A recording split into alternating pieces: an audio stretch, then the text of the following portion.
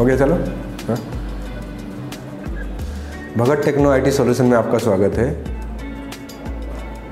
आज आपको हम टेंडर कैसे ओपन करते हैं, गवर्नमेंट का जो टेंडर हम डालते हैं, उसको ओपन कैसे करते हैं, उसके बारे में हम आपको बताएँगे। टेंडर बेसिकली पब्लिश होने के बाद टेंडर को ओपन कैसे टेक्निकल बीट कैसे ओपन करते हैं और फाइनेंस बीट कैसे ओपन करते हैं। टेंडर पब्लिश कैसे करते हैं पोर्टल में? गवर्नमेंट का जो भी टेंडर होता है, उसको पहले पब्लिश या फ्लैश जो बोलते हैं, उसको कैसे करते हैं? उसका ऑलरेडी हमने वीडियो आप मेरे चैनल पर डाला हुआ है। जो डिस्क्रिप्शन में आपको चैनल का लिंक है उसमें से आपको पता चल जाएगा। आज टेक्निकल बीड और फाइनेंस बीड दोनों को ओपन कैसे करते हैं, उसके बारे में आप लोगों को बताऊँगा। तो टेक्निकल बीड खोलने के लिए आपको जो भी दो डीएससी आपने टेक्निकल ओपनर के टाइम पे जो भी डाले हैं, वो दोनों का आपको डीएससी लगेगा, दोनों को यूज़र आईडी लगेगा और दोनों का पासवर्ड लगेगा टेंडर ओपन करने के लिए। तो कैसे करते हैं? यहाँ पे मैं अभी आपका एक, जो एक डीएससी है या एक आईडी जो यूज़र आईडी है, उससे मैं लॉगिन हो रहा हूँ। लॉगिन आईडी डालता हूँ। महा टेंडर्स की साइट पे लॉगिन करेंगे।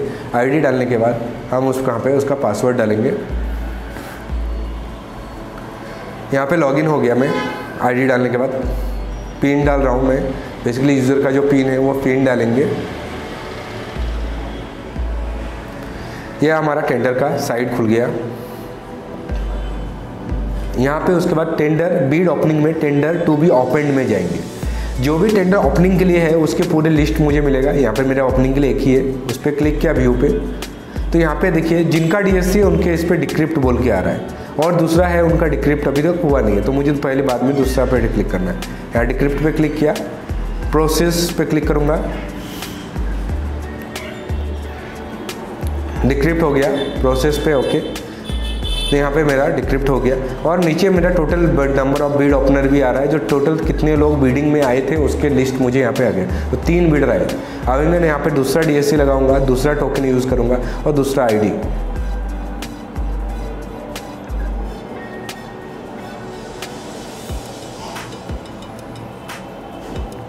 यहाँ पे दूसरे में आईडी से लॉगिन हो जा रहा हूँ। कैप्चा डाल रहे हैं और आगे हमें लॉगिन हो जाऊँगा।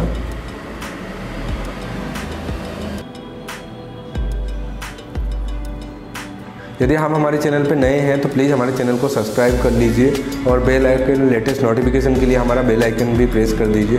तो इससे आपका जो भी हमारे नए वीडियोज़ आएँगे, आपको उसका नोटिफिकेशन आता रहेगा। तो देखिए, मैं यहाँ पे लॉगिन हो गया, फिर से डीएससी का पिन डाला, अभी मैंने दूसरा डीएससी डाला है, फिर से मैं जाऊँगा यहाँ पे टेंडर टू बी ओपन में। क्योंकि मैंने एक डीएससी से डिक्रिप्ट किया है, अभी मुझे दूसरे बी यूज़र आईडी का डिक्रिप्ट करना पड़ेगा तो ही टेंडर ओपन होगा। तो मैं यहाँ टेंडर टू बी ओपन में जा रहा हूँ, और यहाँ पे अभी जिससे जो दूसरा डीएससी था, उस पर डिक्रिप्ट का ऑप्शन था उसको डिक्रिप्ट कर रहा हूँ प्रोसीड के बटन पर क्लिक करेंगे। ओके तो ये मेरा अभी डिक्रिप्ट हो गया दोनों। जैसे ही डिक्रिप्ट हो गया, नीचे देखिए टेंडर फ़ी और टेक्निकल का मेरा ब्रीफ केस आ गया। उसके ऊपर क्लिक करना है। ये अभी टेंडर मेरा खाली ओपन हुआ। अभी मैं इसका स्क्रूटनी कैसे करूँगा, वो दिखा रहा हूँ। जिसको हम लोग टेक्निकल एवोल्यूशन भी बोलते हैं। तो ये ब्रीफ के उसके ऊपर आपको क्लिक करना है ओपन बीड पे। तो यहाँ पे जो तीन बीडर थे, उसके नाम डिस्प्ले हो गए। कभी उसने सबमिशन किया, उसका डिटेल्स आ गया। मैं इसका एक एक करके सबका बीड ओपन करूँगा। जैसे ही बीड ओपन करता हूँ, वहाँ पे मुझे उसका सभी डिटेल्स जो जो डॉक्यूमेंट डाला है, वो देखिए, वहाँ पे व्यू पे यदि क्लिक किया तो उसका पीडीएफ मुझे दिखेगा। तो इसको मुझे एक्सेप्ट करना है या रिजेक्ट करना है? तो मैं यहाँ व्यू पे क्लिक करके मैं इसको एक्सेप्ट या रिजेक्ट कर सकता हूँ। ये अभी तक मेरा ओपनिंग का पार्ट है। अभी तक मैंने इसके ऊपर स्क्रूटनी नहीं किया है। तो मैं यहाँ पे सबको अभी एक्सेप्ट कर लेता हूँ। सभी टेंडरर ओके है। फिर से दूसरे को एक्सेप्ट कर लिया, अभी तीसरा को एक्सेप्ट करेंगे। जैसे जैसे एक्सेप्ट करता हूँ, वो मेरा बीडर का नाम ऊपर को चला जाता है और इसको अभी सबमिट कर देंगे।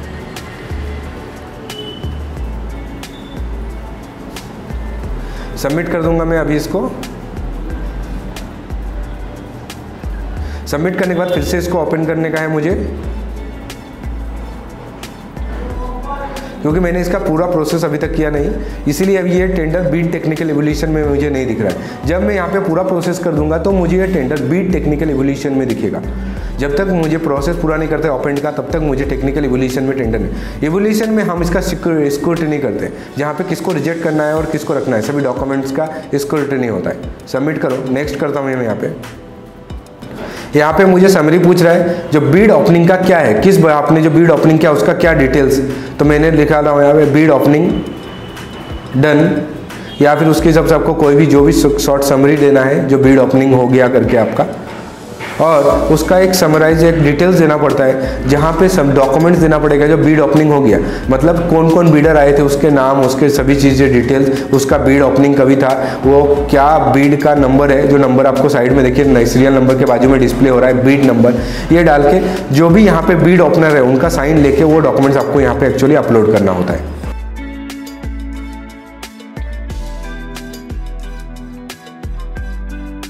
तो ये जेड का टेंडर है। नॉर्मली हम लोग यहाँ पे अपलोड कर देते हैं। तो मैं यहाँ पे इसका बीड ओपनिंग का डिटेल्स अपलोड कर रहा हूँ। तो देखिए, मैंने यहाँ पे बीड ओपनर पे डाल दिया सभी डिटेल्स वहाँ पे इसको अपलोड कर दिया। जैसे अपलोड कर दिया, अभी यह मेरा टेक्निकल इवोल्यूशन में वो टेंडर मुझे दिखना चालू हो जाएगा। मैं यहाँ पे सबको किसको एक्सेप्ट करना है या रिजेक्ट करना है, वो मैं यहाँ पे देख सकता हूँ। मैंने सबके डॉक्यूमेंट्स पहले ही देख लिए तो मुझे यहाँ पे सबको एक्सेप्ट करना है तो एक्सेप्ट कर दिया मैंने ये बीडर्स को। एक्सेप्ट करने के बाद नेक्स्ट यहाँ पे इंटरनल मॉनिटर है या एक्सटर्नल मतलब बाहर से कोई थर्ड पार्टी आपने हायर किया है क्या? थर्ड पार्टी का अटैचमेंट आपको बोलते हैं कंसल्टेंट तो ये मेरा यहाँ पे कंसल्टेंट कोई नहीं है, इसलिए मैं इंटरनल पे कराता हूँ। तो कौन है उसका कमेटी मेंबर तो जो भी है, ग्राम सेवक, सरपंच, या उनका नाम दिखलाए कमेटी मेंबर नीचे कमेटी जो जो उनके मेंबर है, ग्राम सरपंच, सेवक, उनका सबका नाम डिस्प्ले नीचे दिखना है और सबका एक अप्रूवल अथॉरिटी लेटर होता है, जिसमें ये टेंडर कर उनको अथॉरिटी दिया गया है खोलने का, वो लेटर मुझे यहाँ पे अभी अपलोड करना पड़ेगा। तो मैं यहाँ पे सबका नाम डाला पहले। कमेटी मेंबर ये मेरे लिए मैंडेटरी नहीं है तो मैं चाहूँ तो इसे यहाँ पे कर सकता हूँ अदरवाइज़ मैं इसको छोड़ सकते।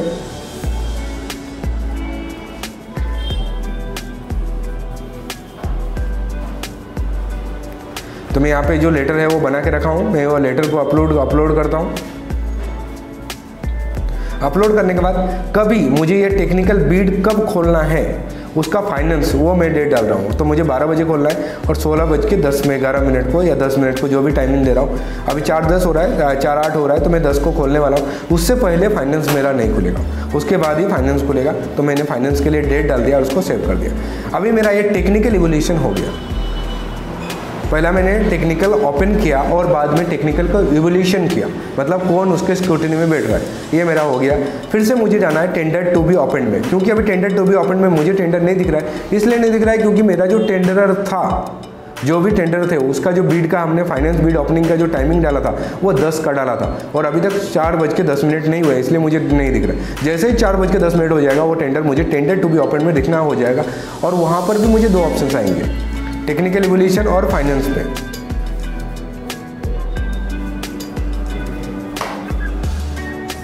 तो देखिए, मैंने यहाँ पे फिर से टेंडर टू बी ओपन में गया और मुझे अभी नीचे दिख रहा है फाइनेंस इवोल्यूशन में मुझे वहाँ पे दिख रहा है। तो फाइनेंस इवोल्यूशन में जाके उसको ओपन कर रहा हूँ। फाइनेंस इवोल्यूशन में जाके उसको टेंडर को ओपन कर रहे हैं। टेक्निकल का खुल गया, इसलिए टेक्निकल में वो टेंडर नहीं है फाइनेंस में। मुझे इसको जाके ओपन करना है फिर से। और दोनों को फिर से इंक्रिप्ट डिक्रिप्ट करना है।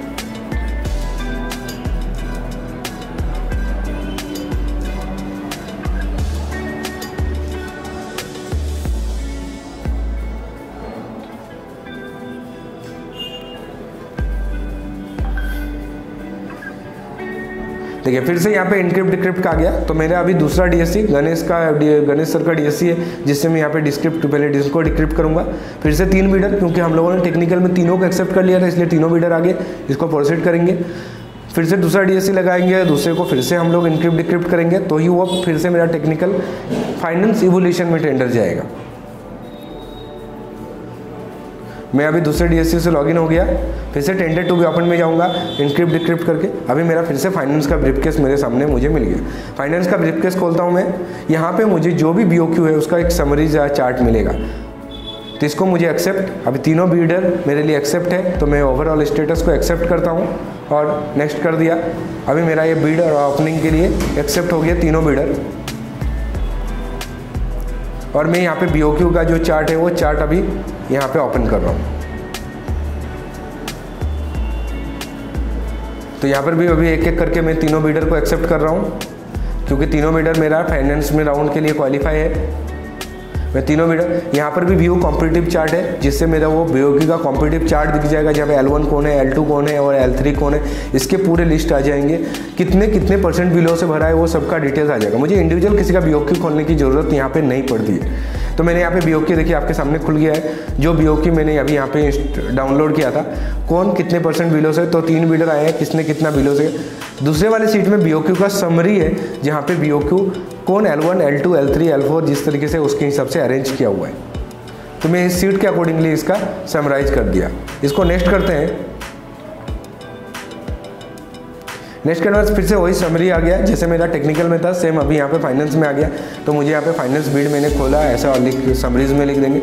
और डॉक्यूमेंट्स के लिए, जो डॉक्यूमेंट्स हमने ओवर ले, ये लोग फाइनेंस राउंड में आए थे और ये लोग फाइनेंस राउंड में एक्सेप्टेड है करके मतलब ये लोग फाइनेंस राउंड में टेक्निकल से क्वालिफाई होकर फाइनेंस में आए थे। उनका बीडर का नंबर वगैरह मैं डिटेल्स डाल के उसका भी सरपंच या जो भी टेंडर खोलने वाले उन लोगों का साइन लेके यहाँ पर मैं उसको अपलोड कर दूँगा।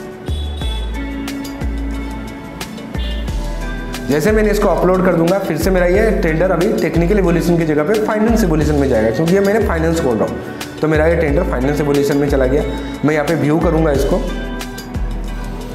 व्यू करने के बाद भी एक्सेप्ट और रिजेक्ट का ऐसा ऑप्शन आएगा स्टेटस पे आपके पास। और यहाँ पे अमाउंट पूछा जाएगा जो ये बीडर ने किसने कितने में भरा था। और बीड का रैंक क्या है और उसका रिमार्क्स क्या है। मतलब L one L two L three ये मैं यहाँ पे डाल दूँगा। कितने लोगों का ने कितने कितने अमाउंट में डाला था तो मेरे पास बी क्यू खुला है, वहाँ से कॉपी करके मैं यहाँ पे पेस्ट करता जाऊँगा L one L two L three का। मैं यहाँ पे सभी डाल के फिर से वो डॉक्यूमेंट्स अपलोड करके इसको मैं एक्सेल यहाँ पे बीओक्यू का जो एक्सेल का फ़ाइल है, वो मैं, जो है मैं कॉम्पिटिव डाउनलोड किया, उसको मैं यहाँ पे अपलोड कर दे रहा हूँ।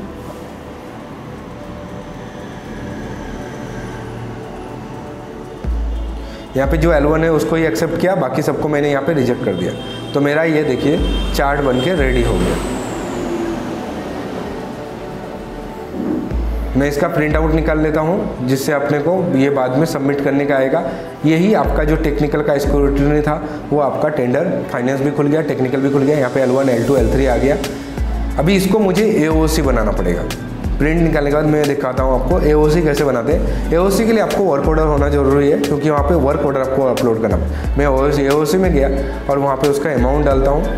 कितना अमाउंट है कॉन्ट्रैक्ट वैल्यू कितना है। और एओसी डिटेल्स में मुझे उसका वर्क ऑर्डर डालना है। कॉन्ट्रैक्ट वैल्यू कितने में कॉन्ट्रैक्ट और जो एल मैंने सेलेक्ट किया था, उसका नाम यहाँ पे डिस्प्ले हो गया।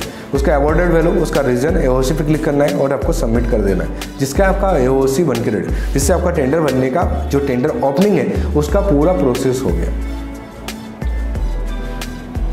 ये हमारा टेंडर ओपन करने का प्रोसेस था, जिससे हम टेंडर कैसे ओपन करते हैं टेक्निकल ओपनिंग फाइनेंस ओपनिंग और टेक्निकल बाद में ए कैसे बनाते हैं, ये पोर्टल्स का थैंक यू